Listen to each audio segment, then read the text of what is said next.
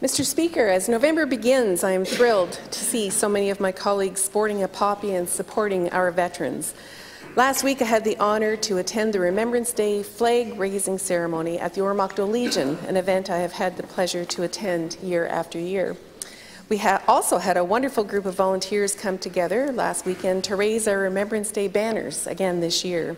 Thank you, as always, to Brian Carroll and Irene Carroll for making this happen each year.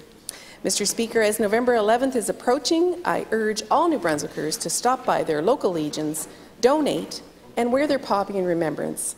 Please attend local Remembrance Day ceremonies in your community, lest we forget.